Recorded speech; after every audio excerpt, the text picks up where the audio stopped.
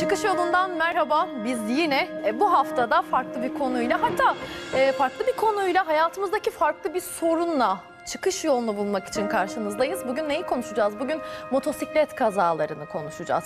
Şöyle bir bakın gazetelere veya şöyle internette sadece son bir haftayı tarayın. O kadar çok rastlayacaksınız ki bu kazalara. E, bunun nasıl önünü alacağız? Bugün konuşacağımız mesele bu olacak. Aslında biz e, geçtiğimiz haftalarda da bu konuyu masaya yatıralım demiştik. E pek kısmet olmamıştı. Son dakika gelişmeleriyle birlikte hep yarım kalmıştı ama madem başladık bir konuya dedik e, bu soruna çözüm bulmak için biz bugün karşınızda olacağız. Konuklarımız kimler? Motosiklet ileri sürüş teknikleri eğitmeni Erkan Demirel bizimle birlikte. Hocam hoş geldiniz. Merhabalar. Diyecekleriniz bizim için çok önemli. E, bu kazaların nasıl önüne alabiliriz konuşacağız sizinle. Ve motosiklet kullanan hatta maalesef ki kaza yapan ama hep söylüyorlar farklı bir sevda. Öyle vazgeçilecek bir şey değil.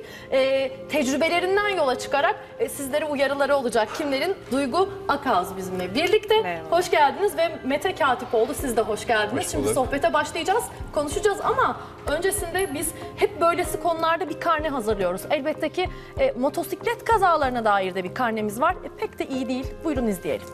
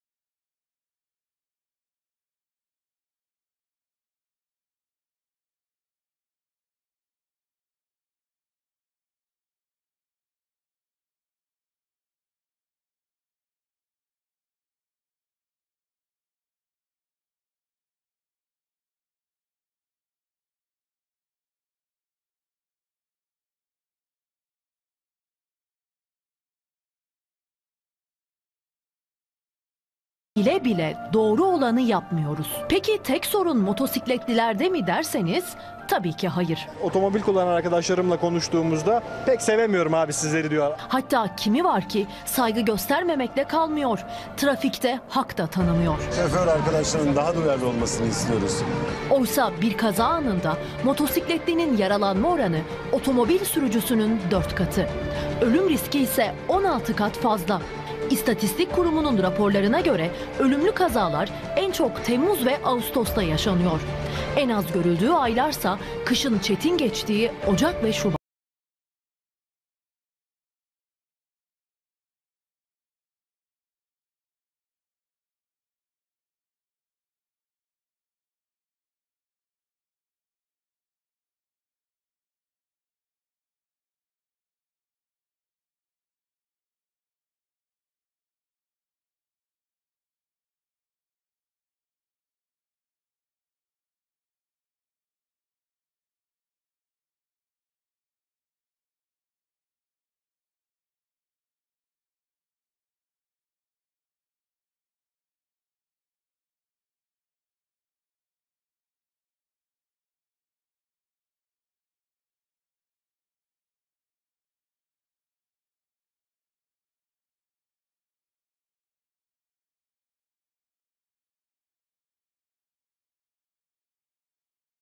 Örneğin e, her evde bir motosiklet sürücüsü olsa o zaman kazalar daha az yaşanır. Çünkü motosikletlere, otomobil sürücüleri motosikletlere bir trafik aracı olarak, olarak bakmıyorlar.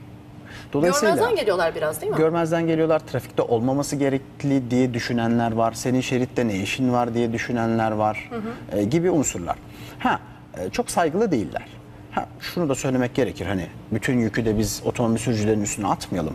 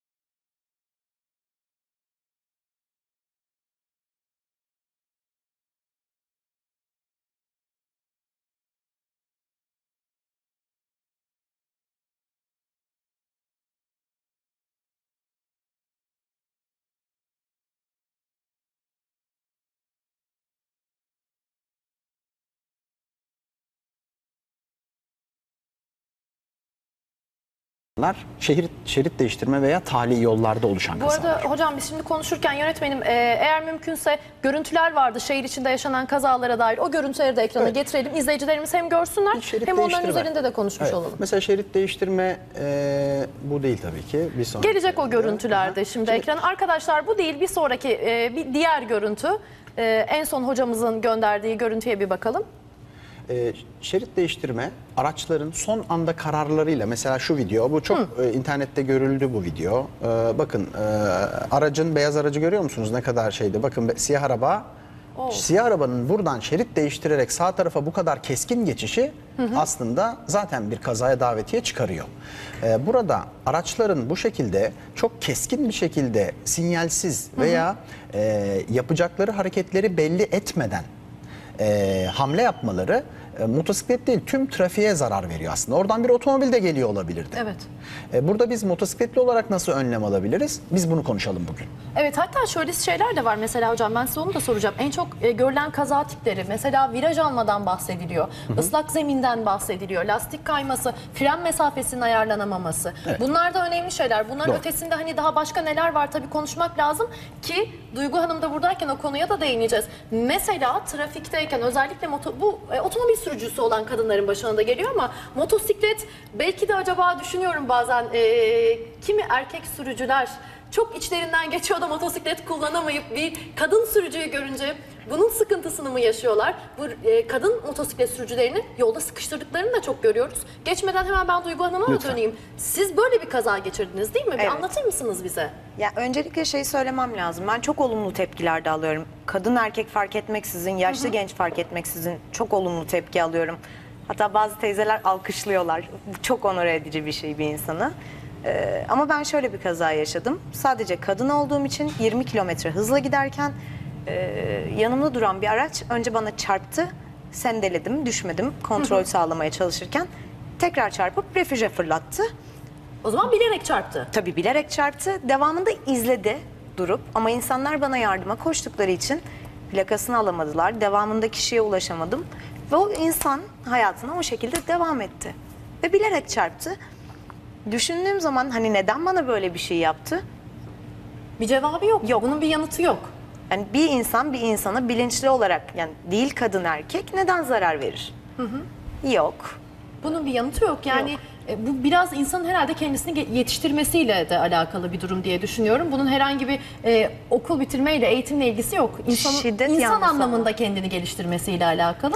E, tabii Mete Bey'in de çok ciddi bir kaza durumu var. Mete Bey size döneceğim. Özellikle sizin ben biliyorum ki e, ekipmanlar sayesinde siz çok ucuz atlattınız. Size döneceğim ama hocam şimdi bu viraj alma, ıslak zemin, lastik kayması dedik. Daha başka e, hangi nedenlerle kaza tiplerini görüyoruz ve mesela virajı alırken nasıl alması gerekiyor bir motosikletlinin?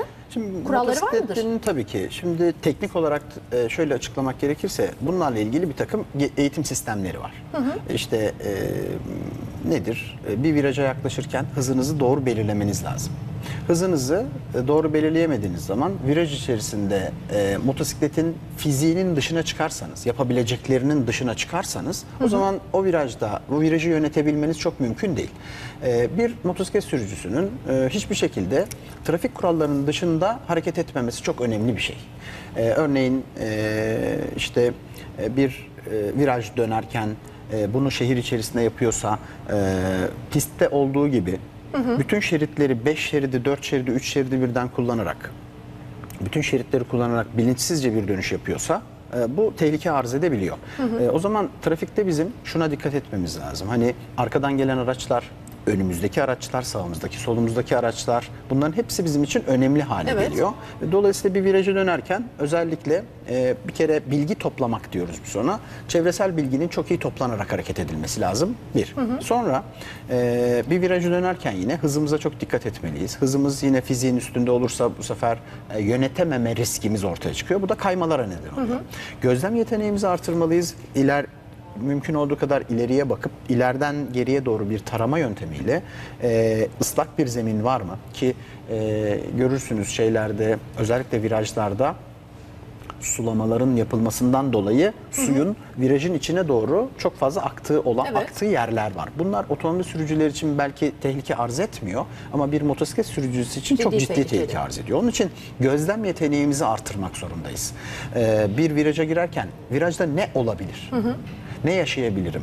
Bir su olabilir, yağ olabilir, yere düşmüş bir parça olabilir, bir çukur olabilir, toz olabilir, kum olabilir, çakıl olabilir gibi ne yapacağız? Bir takım öngörülerde bulunmak zorundayız. Onun için e, sanki temizmiş gibi, Evet. hiçbir şey yokmuş gibi davranış sergilemeyiz. O zaman gördüğümüz kadar gidiyor olmamız lazım. Yani görüş alanımızdaki mesafe kadar gidiyor, hareket ediyor olabilmemiz lazım. Bu da bize ne getirecek? Bu da bize aslında güvenlik getirecek.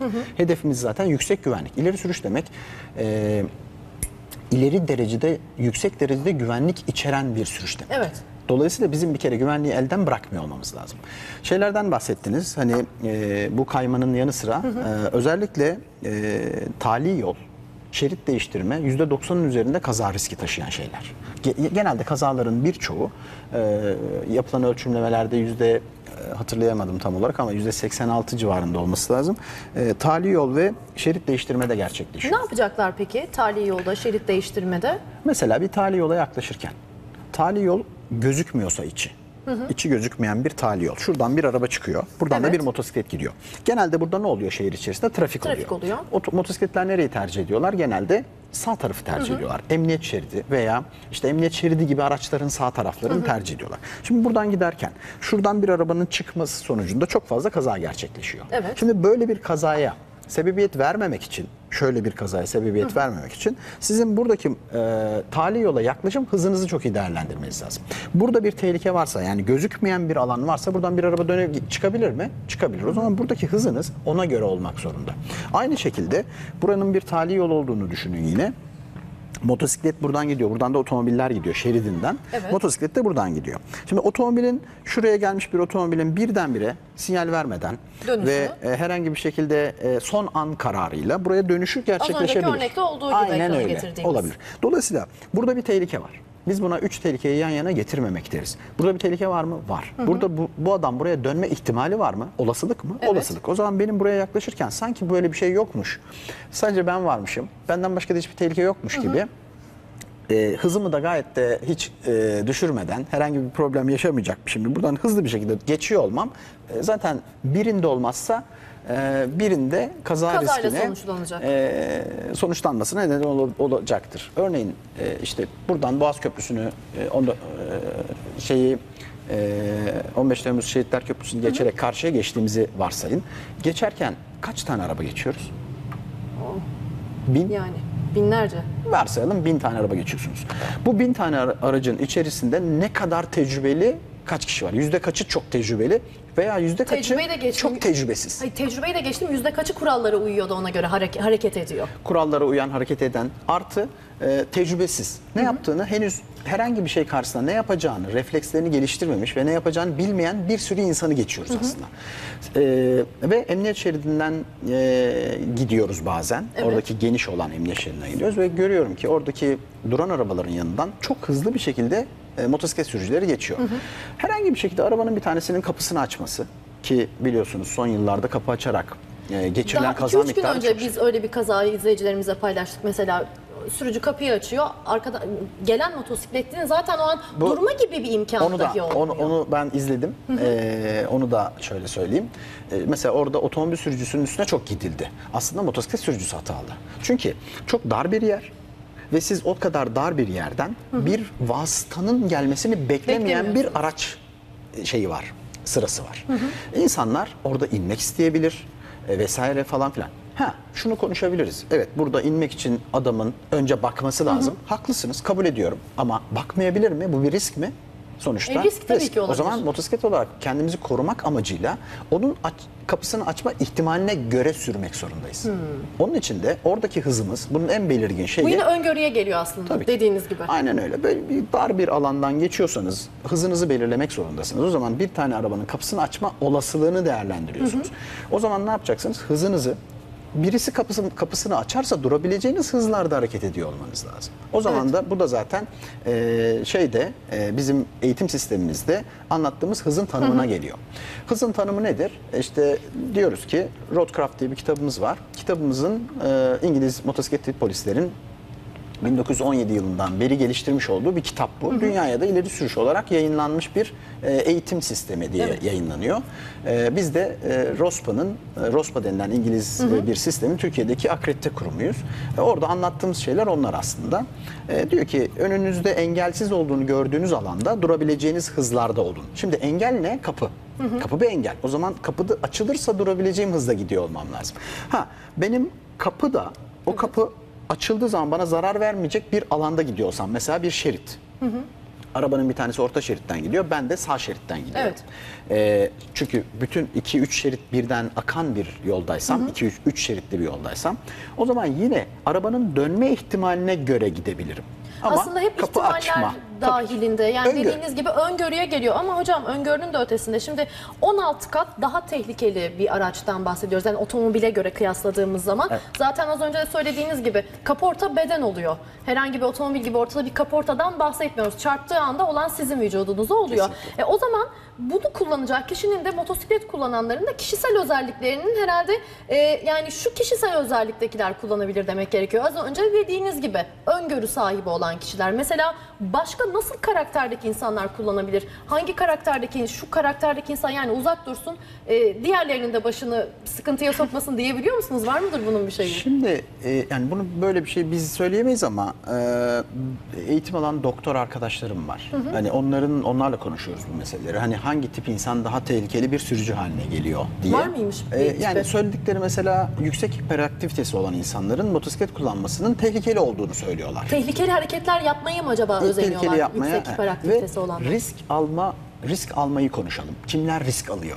Bir kere E, genç yaşlı insanlar. Yine Roadcraft'tan bir bilgi. Yani yine bir araştırmanın sonucu. Genç yaşı genç olan insanlar.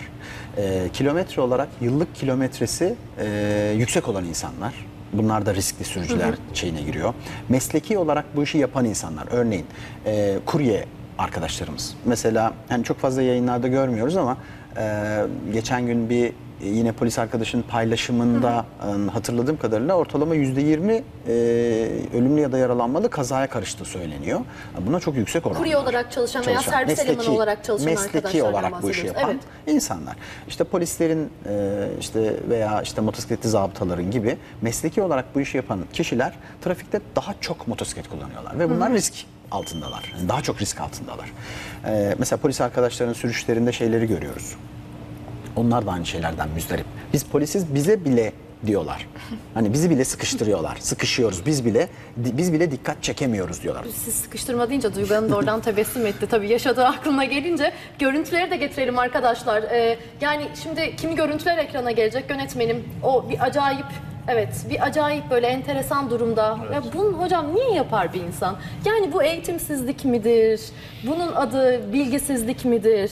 Yani neden bu şekilde motosiklet kullanmayı tercih ederler? Bunlar herhalde o kullanılmasın denen, denilen gruba mı giriyor? E, tabii yani bu şeydir mesela Anadolu'da e, mobilet denilen e, bu değil tabii ki ama biraz önceki e, Şimdi bu Anadolu'da normal şehir içinde kullanıyor. Evet, Ayaklarını Ne kadar büyük bir risk. Yani Uzatmış böyle yani. bir şeyin böyle bir şeyin böyle bir şeyden zevk almak da çok ilginç. E, dolayısıyla bu insanların mesela kaskları yok bakın. birbirine ka- kaskı geçtim hocam. Bağlamışlar. Birbirine bağlamış çekiyor. Aracı Çekiyorlar. çekiyor yani. Hani e, bozulmuş diye aracı çekiyor. E, yüke bakın. Hani bu motosiklet Evet. bu yükü taşırsa bunun fren sistemi tutar mı? Hani bu fren yaptığı zaman durabilir mi? Duramaz bu motosiklet. Zaten e, polis arkadaşların da özellikle e, çantalı ve yüklü olan motosikletlere karşı çok ciddi seviyede önlemleri var. E, onları da şey yapıyor. Bu çok tehlikeli bir şey. E, sonuçta akrobasi hareketleri e, normal trafikte yapılması gereken şeyler. Ama maalesef ki yapılıyor. Sonunda da zaten Maalesef. kazalar geliyor. Bir de Evet. şimdi e, pek çok kişi tamam e, tabii ki otomobilde de e, kaza yapıyoruz. Yani önemli olan bunun tedbirini almak, e, bir şekilde bu kazalardan böylece kaçınabilmek. E, ama biliyorum ki sizlerden de motosiklet bir tutku. Hep söylüyorsunuz. Kazaya rağmen, kaza yapmış olmamıza rağmen vazgeçemediğinizi ifade ediyorsunuz. Vazgeçilmeli mi? Geçilmemeli Yani. tabii. Otomobilden vazgeçiyor muyuz kaza yapıyoruz aynen. diye. Aynen yani öyle. nasıl kullandığınızla alakalı. Tabii çevredeki insanlara bir şey yapamıyorsunuz. Dediğiniz o da çok var. doğru. Bana da hep şey diyor. Ya Mete artık araba al bir tane.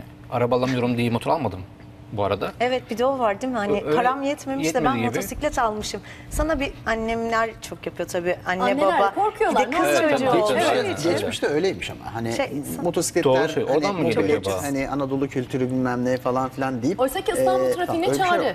Hayır motosikletlerin fiyatları inanılmazdır. Yani. Evet. Hani bugün e, 100 bin Ucuz lira. değil, değil mi? Tabii, tabii. Yani 30-40 bin liralardan başlayan O en ucuzları falan gibi. yani ortalamalarda Öyle mi?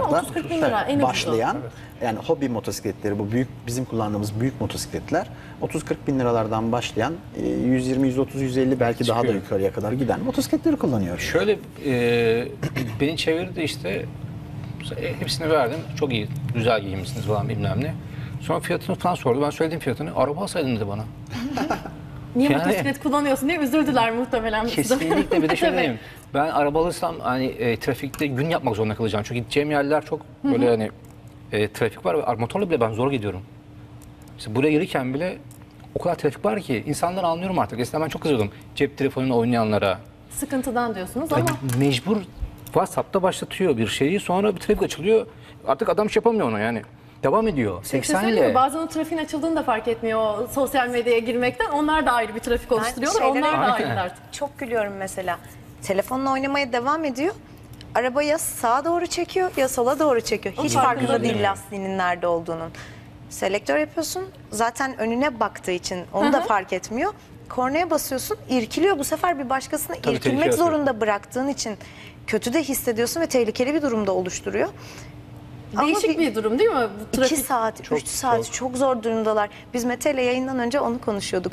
Bir gün mü yapsak işte altın günü, kısır günü, trafiğe çıkıp böyle Trafiğe arabanın çıkıp- içinde 4-5 kişi işte Maslak. Levent bitmeyen, arası. Yani bitmeyen bir trafik söz konusu. Aslında motosikletleri, motosiklet kullanmayı, e, adabını biliyor Evet. olsak aslında biraz belki de bu trafik sorunu da Açacağız. olmayacak. Onu da açacağız ama şunu da merak ediyorum. Motosiklet kullanmak isteyip ama nasıl öğreneceğini e, bilemeyenler de var. Onu da duyuyorum pek çok kişiden. Hatta ben kendi kendime öğrenebilirim veya ya benim bir arkadaşım var o bana öğretti. Gibi. Oluyor mu öyle mesela Mete Bey size sorayım Olmaz hocam mı? size Olmaz dönmeyeceğim mı? bunun için. Önce bir arkadaşlarla konuşalım. Olmaz mı? Var. Siz öyle mi öğrendiniz mesela? Ben öyle öğ- öğrenmedim. Benim öğrenme şeyim çocukluktan beri bisikletten başlayıp öğrendim. Ama şu oldu benim başıma gelen. Soğudum motordan. Ee, 17-18 yaşındayım. Mobilya sürüyorum ama vitessizdi. Abim vitesli motor almış. Bana versene dedim yani. Bana versene, bana versene, bana versene. Ya dedi bak vitesli bu dedi. Ne, ne var ki viteste yani? Burası debriyaj dedi. Tamam basit dedim. geliyor Basit. ilk İndim. önce. Dedim ki şimdi gidecek bu motor. Debriyaja bastım. Dedi ki bana daha önceden bırakacaksın devreci. Ha tamam ama gaz veriyorum gitmiyor şimdi. Gaz veriyorum gitmiyor gitmiyor gitmiyor. Sonra dedim "Lan Debriyajı devreci bırak." bırak. Bir bıraktım önü bir kalktı. Gidiş o gidiş galiba. Yere düştüm motor ben yerden düştüm. İşte bakıyorum motor çok tehlikeli gibi duruyor böyle hani canavar gibi geldi bana o an. 17 yaşından 22 yaşına kadar motor sürmedim. 22 yaşında bir motorun arkasına bindim tekrar. Bir arkadaşımın motorun arkasına. Ve dedim ki tekrar geldi o motor sevdam. Ben motor alacağım. Peki ne yaptınız sonra? Almaya karar verdiniz. Şöyle, e, biliyorum sürmesini bu arada ama vitesli tabii sürmüyorum. Gittim vitessiz bir motor aldım. İki sene onu sürdüm. E, iki seneden sonra gittim vitesli sürebilir miyim diye eğitim aldım. Baktım ki viteslerden arabanın vitesiymiş. Bu yani yerler değişikmiş sadece. Bunları öğrendikten sonra vitesliye geçtim. Vitesliyi de cadde çıkmadım önce. Kapalı alanlarda alanda. evet sürdüm sürdüm sürdüm. Sonra kendime güvendim yavaş yavaş ama gerçekten çok tehlikeli olduğunu öğrendim bu arada. Nasıl öğrendim? Düşük cc'li motorum varken trafiğe çıktığımda çok tehlikeler yaşıyordum. Yani cc'si küçük yani güçlü olmayan motor. Çünkü arabalar geliyor işte giremiyorsun araya. Bu arada hız şey değil. yani motor şöyle diyorlar. Kaç basıyor diye soruyorlar sana hemen. Şimdi Ha, evet o motorun önemlidir büyük- değil mi? Böyle kaç basıyor diye sorulur edilir ama aslında Sanki hep hızlı gitmem gerekiyormuş gibi. Öyle sorular var. Ama ben arabaya vurup da böyle abi kaç basıyor bu? Hiç sormuyorum mesela yani. Bunu ama herkes soruyor. Biz gerçekten sıkılıyorum bundan. Bugün gelirken de telefonla konuşuyorum. Benim kaskla konuşuyoruz. Şimdi anlamıyorlar dışarıdan. Durdum konuşuyorum. Birisi geldi yanıma konuşuyor benimle. Ben de siz duyguyla konuşuyorum hani burayı bulamamışım. Bir daha sorular soruyor bana. Ya ben üstü açık arabaya yapmıyorum böyle şeyler. Mesela hani bundan da sıkılıyorum. Çok insan aralar. özeniyor belki de motosiklete. Görünce de hani cesaret de edilemiyor. Kullanan birini görünce de belki onunla da alakalı olabilir hocam. Çok güzel gözüküyor gerçekten. Bir motosiklet gerçekten özenilen bir şey. Hani düşünsenize e, bir kere kaskı takmışsınız. E, içinde atom karınca gibi e, ve içinde istediğiniz hayal kahramanına Ya. dönüşebiliyorsunuz. Ve altınızda da güçlü bir araç var. Ve bu güçlü araç, araçla hareket ediyorsunuz ve bir, bir sürü insan trafikte dururken siz de e, istediğiniz yere daha erken Hocam ulaşabiliyorsunuz. aklıma Bunlar güzel geldi? şeyler. Çok yani. güzel bir şey geldi. Normalde durduğum zaman iniyorum bakkala, yani bakkal değil işte benzin alırken markete kasla gidiyorum yürüyorum. Aynadan görüyorum kendimi. Ya bunu yapan dünyada başka kim var? Hani böyle yürüyebilen, kask var falan. Astronot. Yani bir de ben. Yani motor sürenler. Ya başkasını böyle iz- izin vermezsin böyle yürümesine yani. Yani bazı yerlere saygı sorgun yapıyorlar da böyle kaskla falan. Şimdi o kask meselesine falan da girelim istiyorum hocam. Ee, Hani evet tamam kazalar oluyor ama işte o kask, eldiven, o pantolonlar, o giyilen montlar hayatı önemli. onlar kul- Kesinlikle, kurtarıyor değil kesinlikle. mi? E, Bu arada e, motosikletten, CC'den de bahsetmişken ilk kez motosiklet almaya karar veren bir kişi. Mesela nasıl bir motosiklet seçmesi gerekiyor? Sizin kullandığınızı ben ilk kez kullanacağım. E, öğrendim diyelim, ehliyetimi de aldım. Kullanabiliyor muyum? Güzel bir soru. Şimdi e, şöyle düşünün. E, şimdi devletin son yıllarda ehliyet sistemini değiştirdi.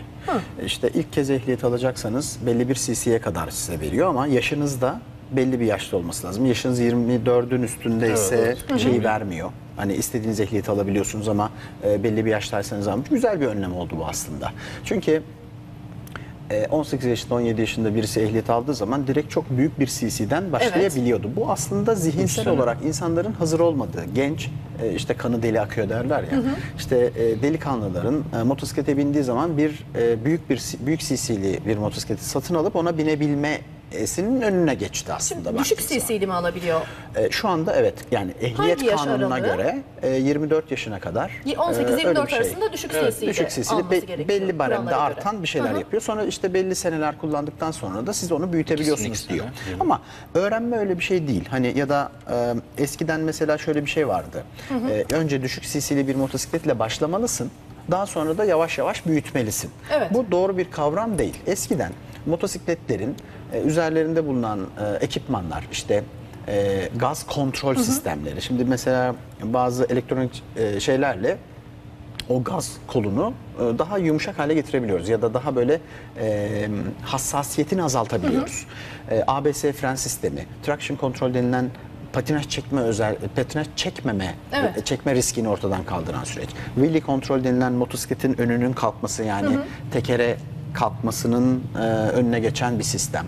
E, şimdi yeni geliştirilen, e, dünyada yeni geliştirilen bazı markaların geliştirdiği motosiklet yatıkken e, fren yapmak çok mümkün değildir. Yani fren yapmak mümkündür ama efektif fren yapmak mümkün değildir. Onu sağlayan sistemler geliştirildiği için yeni sistemlerde artık insanlar e, istedikleri motosikletle başlayabilirler ama şöyle bir çizgi çizmek lazım altına. Mesela bir doktora gidiyorsunuz. Doktor e, telefonda niye şey yapmıyor, muayene yapmıyor? Neyi görmek istiyor? Hastayı görmek istiyor ki doğru Mesela bana şimdi kolay te- telefonda soruyorlar. Hocam ben neyle başlamalıyım? Görmeniz gerekiyor sizin Şimdi ben sizi görmeden bir şey söyleyemem ki. Öyle bir şey yok. Evet. Yani 250 de yanlış olabilir. 1200 de yanlış olabilir. Peki hocam şimdi Bilemeyiz. e, süremiz de yavaş yavaş azalıyor artık. E, kendimizi koruyabilmek için motosikleti aldım. E, kendime uygun olacak şekilde. E, kuralları biliyorum. Artık ehliyetim de var ama koruyucu ekipmanları giymeden motosikleti kullanmaya başlamamam gerekiyor. Şimdi süremiz de az. Hızlıca bir toparlayacak olursak. Şimdi neleri kullanmamız gerekiyor ve neden kullanmamız gerekiyor? Şimdi bir kere e, sevmediğiniz uzuvlarınızı korumayın diyoruz biz e, şeyde e, espri olarak akılda kalsın diye bir kere tam kıyafetli olmak zorundayız. Nedir kask, onlar? Kask. kask bizim e, e, önemli e, faktörlerimizden bir tanesi. Kaska kask alırken dikkat edilecek şey kafanıza tam oturması. Kafanızın şu şu şuradaki çıkıntı kemik var ya. Evet. Burasından şu alnınızın ortasına doğru şöyle bir e, mezura ile ölçebilirsiniz veya bir kask alacağınız yere gittiğiniz zaman ölçüm şeyleri var. Onlarla ölçüp başınızın tam bedenini ortaya çıkarıyorlar.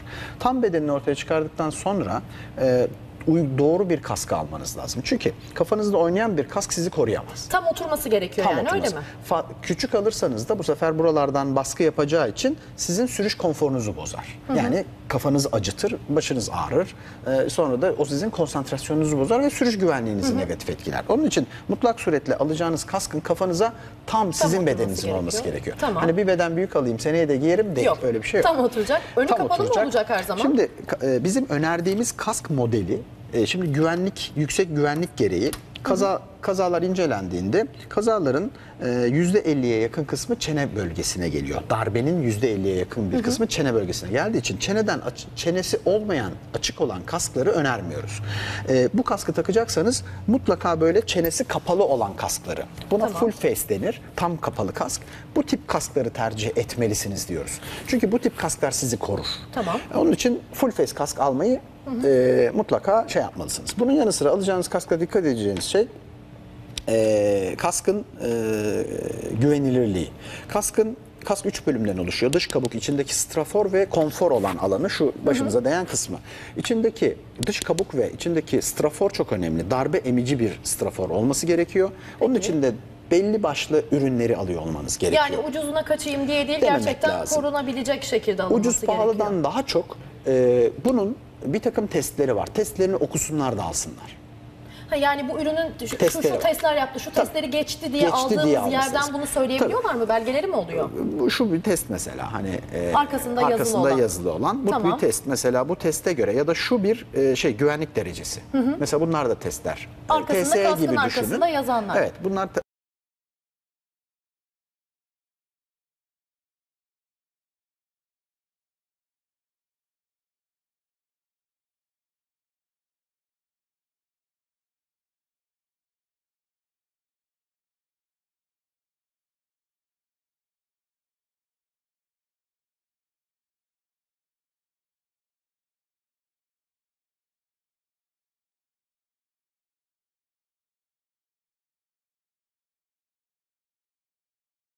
Onun için onun mutlaka dışında? ona şey yapmalısınız. Kıyafetlerinizde de bizim kıyafetlerimiz normal kıyafetler değil. Her mesela birçok marka bulabilirsiniz. Herhangi bir ceketin içerisine bir koruma yerleştirip giydiğiniz zaman o e, sizi koruyan bir e, kıyafet olmaz. Bizim giydiğimiz kıyafetlerimizin e, mutlaka şu kıyafetlerimizin e, kumaşının bir özelliği var. Nedir? Bu- bunların kumaşının özelliği yanmaz ve yırtılmaz olması. Çünkü moto, bir 100 kilometreyle giden bir motosiklet ortalama düz bir zeminde düşerse 70 metre sürükleniyor ve alt, 770 derecelik bir ısıya maruz kalıyor. Bu çok yüksek bir ısı. Düşünebiliyor musunuz? İnsan etini bile eritebilir aslında bu Kesinlikle ısı. Öyle bir ısıdan bahsediyoruz. Kesinlikle. İşte bunun şu e, korumalarının şöyle dokunursanız Bakın, bakın. evet, bakayım. bunlar sert korumalar. Bunlar sadece darbeye karşı yani çarpmaya karşı bir şey. Ama sürtünmeye karşı da sizi koruyor olması için bunun şu kumaşının sürtünmeye karşı etkili, Etkili olan kumaşlardan gerekiyor. seçilmesi. Yani motosiklet ürünü olması, motosiklet için üretilen doğru ürünleri satın alıyor olmanız Önünü lazım. kapatmak gerekiyor mu? Önünde de aynı şekilde var mı böyle koruyucu şeyler sert? A- Aynı şekilde Evet, var. e, önünde de var e, koruyucu şeyler, sırtında da var. Sırtına da dokunursanız e, en önemli şeylerimizden bir tanesi sırt koruması. Aslında ben e, belli markalara yazılar da yazdım. Dedim ki omuz dirsek koruması koyacağınıza omurilik koruması koyun. Dirseğim kırılırsa ölmem Ama ama, omuriliğime bir şey olursa felç olabilirim. Onun için Evet. bunu standart hale getirin diye birçok markaya yazdım. Bütün sürücülere de öneriyorum. Özellikle dikkat sırtınızı etsinler. mutlaka sırt korumanızı takmalısınız. Peki e, pantolon için de mesela e, koruyucu noktalar var mıdır? Evet, Normal aynı- pantolon, normal giydiğimiz pantolonlardan bahsetmiyoruz değil mi? farklı. Farklı bir pantolon Kesinlikle. giyiliyor. E, bu pantolonların da yine aynı kumaş özelliğini taşıyor olması lazım. Kumaş olanlarda bunun içinde bir özellik var. Nedir bu özellik? Bu da yanmaz ve yırtılmaz olma özelliği. Yalnız şuna dikkat etmek lazım. Bu kumaşların dereceleri var. İki, deniyel deniyor ona. E, bu tekstilciler bilir. E, dokuma sıklığı. Evet. Bu dokuma sıklığı 200, 400, 600, 800, 1000 diye gidiyor. Isıya dayanıklılığını oluşturuyor Bu da herhalde. yüks- ısıya da en dayanıklı şey deri. Pistlerde kullanılan da deri zaten. E, o yaklaşık 4000 dereceleri falan karşılıyor. 800 deniyeller aşağı yukarı 3000-3500 derecelere karşı dayanıklı. Evet. E, düştükçe düşüyor. Mesela 200 deniyelin altında e, şey kullanmamak gerekiyor. Ee, Çünkü o zaman aşağı yukarı 50-70 kilometrenin altına düşüyorsunuz ki onlar bisiklet için Koruyuculuk üretilen oranı şeyler. ne kadar fazla olursa canınızı o kadar Aynen koruyor. öyle. Bir de ayakkabı meselesi var değil mi? Ayakkabı Ayakkabıda meselesi normal var. bildiğimiz ayakkabılarla değil. Az önce söylemiştiniz ya e, kurye işiyle ilgilenen veya yemek gönderen, götüren arkadaşlarda hep görüyorum. Ayaklarında ya spor ayakkabı ya da normal işte kauçuk ayakkabı diyelim öyle ayakkabılar Bunlar aslında ama farklı. bakın e, nasıl e, iş güvenliği sağlığı kapsamında şirketlere e, örneğin e, otomobil sürücülerine, şirketlerin otomobil sürücülerine sürüş eğitimi alma zorunluluğu var. Aynı şekilde motosikletlere bunun iki kat daha fazla yapmaları ve buna da bir kıyafet zorunluluğu getirilmesi gerekiyor. Şimdi ayakkabıda, Ayakkabıda e, da neye yine- dikkat ediyoruz? Son bir dakikamıza hemen bir dakikada toparlayalım giysileri. Arkadaşlar çekebiliyor musunuz ayakkabıyı? Ayakkabıda da Mümkünatı var mıdır? Çekmenin? Mutlaka e, şeyin e, botun e, omur şey buradaki kaval kemiğinizi koruyabilecek uzunlukta olması gerekiyor. Bunların e, bu şeylerin topuklarında sert korumalar, önlerinde sert korumalar ve altında da e, ayakkabının ayağın bu şekilde ez- e, dönmesini engelleyen özel bir demir yapı vardır, çelik yapı vardır. Bu yapı sayesinde de ayaklarımızı da bu anlamda korumuş oluyoruz. Peki. Mutlaka ve tabanın da bunların tabanı da özeldir. Yağda vesaire de kayma kaymama özelliği vardır. Çünkü motosiklette biz ayağımızı yere basıyoruz. Orası kaygan bir zeminse bu sefer ayağımız kayabilir. Onu engelleyen bir şey Peki var. bunun sistem. dışında e, eldiven vardı zannediyorum bir de? Eldivenlerimizin Onun de şey nedir? Yani koruyuculuğu e, nedir? Onun koruyucuları da bizim kemiklerimizin olduğu bölgeyi korumaları. Dikkat edilecek en önemli faktörlerden bir tanesi de e, eldivenin yere düşüldüğü zaman elinizin çıkmaması, Çıkmaması için gerekiyor. mutlaka şu bilekten şöyle kilitli eldivenler kullanılması gerekiyor ki e, bu da sizin e, el, eldiveninizin elinizden çıkmasını engelleyen bir unsur. Ee, sadece motosikleti almakla bitmiyormuş iş. Görüyoruz ki yani 30-40 bin lira en ucuzu dediniz ama sadece onu almakla bitmiyor. Bir de bu ekipmanları almak gerekiyor. Önce ekipman alın, sonra motosiklet alın. Hatta evet motosikletten önce önce ekipmanı almak gerekiyor ki siz Mete Bey artık son bir buçuk iki dakikamıza girdik zannediyorum ki siz de bu aslında ekipmanlar sayesinde Evet. kurtuldunuz değil mi büyük bir kazadan? Kesinlikle onlardan. Çünkü motosikleti sahibi olmak demek e, bir şey alırken motosikleti sormak demek gibi. Hani araba sahibi sormaz. Mesela tişört alacağım araba olur mu? Giyersin istediğini. Ama motosiklette alacağın bir şeyi motorda olur mu diye düşünüyorsun. Hani ne olursa ama. Hani herhangi bir ayakkabı bile kız arkadaşına sormazsın motora sorarsın. Olur mu olmaz Motor- mı diye. yani Korur mu olur korumaz mı beni düşünce Olur. diye. Yani aynen. O Bizlere, yüzden- bizlere ulaşsınlar, bizlere sorsunlar. Hah, hocam Ee, son bir dakika etsinler. evet mesajınızı almak istiyorum ben sizden. Şu- Çünkü pek çok genç arkadaş özellikle 17, 24, 18, 24 diyelim onlar daha bir hevesli oluyorlar. Az önce de konuştuğumuz gibi nedir önerileriniz, tavsiyeniz? Bir kere hem motosiklet alırken, kıyafet alırken vesaire buna bu işe başlayacakları zaman doğru yönlendirmeyi almaları lazım. Bizim gibi eğitim kurumlarına mutlaka doğru eğitim kurumlarına ulaşıp ben ne alayım diye bir O konuda e, yardımcı oluyoruz biz destek zaten diyorsunuz. istesinler. Destek olmayacak motosikletçi yok. Yani bugün bütün motosikletçiler birbirlerine selam verirler. Bakın dünyanın hiçbir Evet. yerinde hiçbir otomobilci yapmaz. Dünyanın neresine giderseniz gidin bir motosikletçi gördüğünüz zaman selam verir geçerken. Tanıyın tanımayın fark etmez. Biz birbirimize destek olmayı çok severiz. Onun için e, sorsunlar. Biz de elimizden geldiğince mümkün olduğunca biz cevap veririz. Doğru yönlendirmeye Peki. çalışırız bu şeyleri, kişileri. Peki çok teşekkür ediyoruz hocam. O kadar geniş bir konu ki gönül isterdi. Şöyle daha da uzun uzun bir saat Evet. iki saat daha konuşalım. Ama ümit ediyorum ki pek çok motosiklet sevdalısı gönlünde olup da ya ben de alıp kullanmak istiyorum diyenler için e, faydalı bilgiler paylaşmışızdır sizinle. Çok teşekkür ediyoruz. Mete Katipoğlu bizimle birlikteydiniz ve Duygu e, Akaz çok sağ olun. E, kazasız belasız motosikletli günler diliyorum size. Kimsenin sıkıştırmadığı. Umarım. Hocam size de çok teşekkür ediyorum. Erkan Demirel motosiklet ileri sürüş teknikleri eğitmeni. Çok güzel bilgilerdi. E, bugünlük bizden bu kadar diyelim. Biz çıkış yolunu burada noktalıyoruz ama önümüzdeki hafta biz yine farklı bir konuyla, farklı konuklarımızla yine burada olacağız. Sizi de bekliyoruz.